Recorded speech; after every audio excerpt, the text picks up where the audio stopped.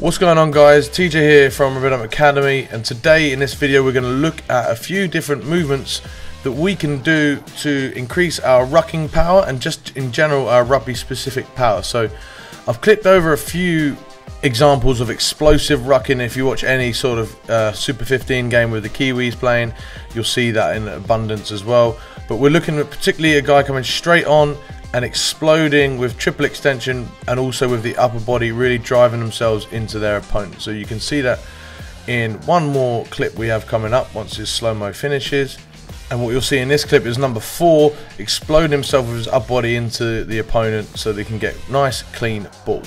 So essentially what we're looking at is horizontal explosion which you get a lot in rugby but you don't get a lot in the gym simply because it's an awkward exercise to try and program for. This one is my favorite clip, I'm going to double it up again. And what you're going to see is the upper body as well as the lower body exploding in a horizontal plane. So you don't get this much, again, as I said, in the gym. So how can we program for it?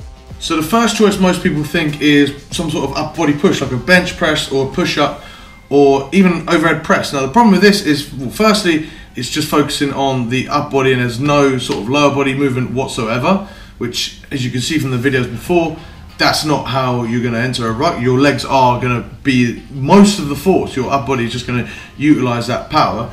The other problem is that you don't go into the ruck like that, you know, or even if you're like this, you don't go like this. It's not really the arms that are moving, it's the whole body that's going to try and move. So what we're going to have to look at is some sort of movement that's going to extend the knees and the hips as well as utilize the upper body. So firstly, we're going to look at cleans.